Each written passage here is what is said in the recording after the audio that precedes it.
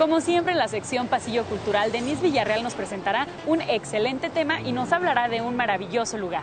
Así es, nada más y nada menos que del bellísimo edificio El Templo de San Agustín.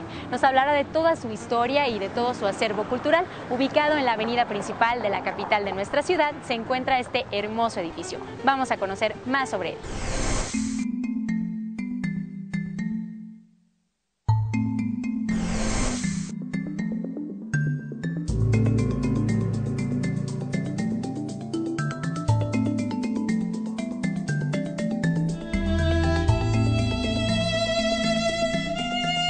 Durango se distingue por ser una ciudad colonial. Esta imagen se da por los edificios que se localizan principalmente en el primer cuadro de la ciudad. Justamente en la avenida principal se localiza San Agustín, un templo católico fundado por el primer obispo de Durango, Fray Gonzalo de Hermosillo.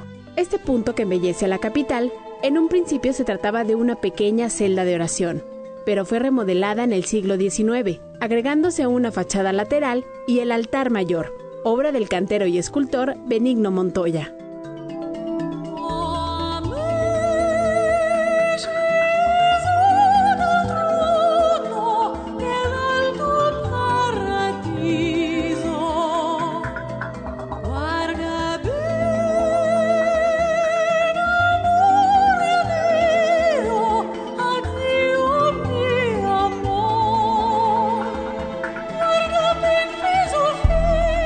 En aquellos años, el templo solo era una pequeña iglesia que estaba un tanto retirada de la ciudad. Según la historia, en 1673 se mandó traer una imagen de nuestro Padre Jesús, misma que se colocó en la humilde iglesia.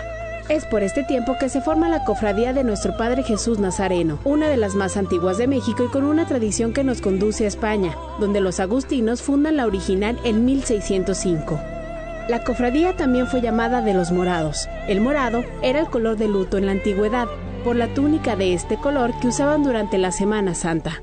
El templo de San Agustín fue uno de los escenarios de la lucha por la independencia de México. Según cuentan que cuando las tropas realistas se trataban de retirar, lo hicieron marchando por el templo de San Agustín, donde ya estaban esperándolo los insurgentes.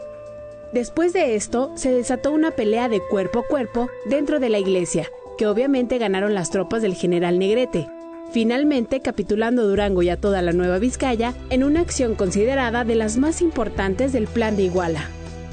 Al parecer también en los tiempos de la Revolución, en 1913, Tomás Urbina llega a la ciudad saqueando todo a su paso, y nuevamente el templo de San Agustín vuelve a estar involuntariamente involucrado en la lucha armada. Esto es solo un poco de historia de uno de los iconos religiosos más importantes de la capital,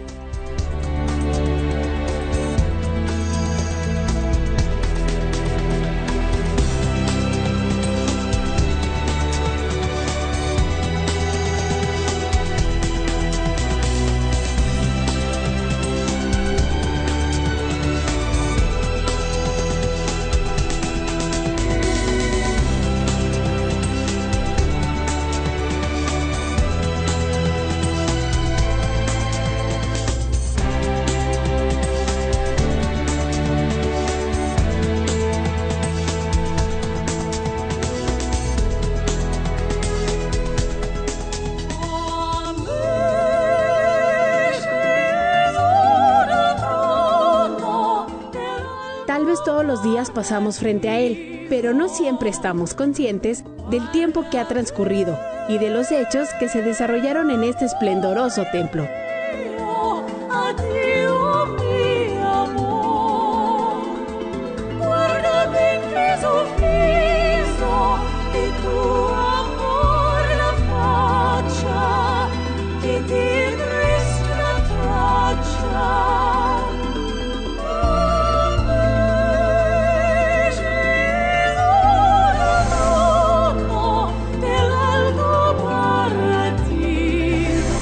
Les agradecemos infinitamente el placer de su compañía en este programa Más de tu Día y por supuesto que les recordamos que nos pueden seguir a través de nuestra página de internet www.tudia.tv. Muchísimas gracias a todos por habernos acompañado. Esperamos de verdad que hayan disfrutado tanto como nosotras de este programa. Disfruten su puente y nos vemos el próximo domingo.